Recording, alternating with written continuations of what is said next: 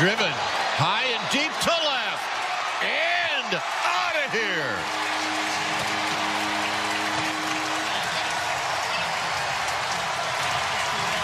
That's the first career home run for Ramos. Good for him. Man, it feels great. And now I can tell my brother that I hit my first one. Harder than him. yeah, it feels great. Have you gotten the ball back yet? Yeah, I got it right here. Right here, and I got the lineup card and everything. Oh, nice. Yeah, the school's So pretty who, cool. who gets the ball? Will you keep it, mom? I Dad? keep it. I gotta keep it. Yeah, keep it for my future at home. Yeah. Was it hard getting it back? Did you have to give up something? Uh, I gave up like a bat and a sign ball, two sign balls. Yeah. No, I feel I'm, I'm glad he he brought it back. Honestly, I thought I was I was gonna lose the ball. I was like, uh, all right, like I asked Arturo, hey, can I get that ball? And he said, yeah, we're on it. I was like, thank God.